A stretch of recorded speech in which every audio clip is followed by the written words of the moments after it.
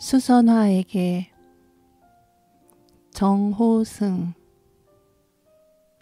울지 마라. 외로우니까 사람이다. 살아간다는 것은 외로움을 견디는 일이다.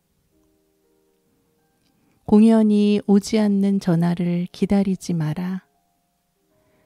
눈이 오면 눈길을 걸어가고 비가 오면 빗길을 걸어가라. 갈대숲에서 가슴 검은 도요새도 너를 보고 있다. 가끔은 하나님도 외로워서 눈물을 흘리신다.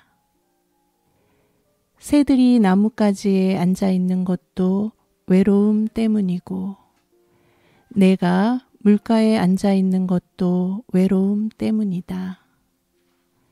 산 그림자도 외로워서 하루에 한 번씩 마을로 내려온다. 종소리도 외로워서 울려 퍼진다.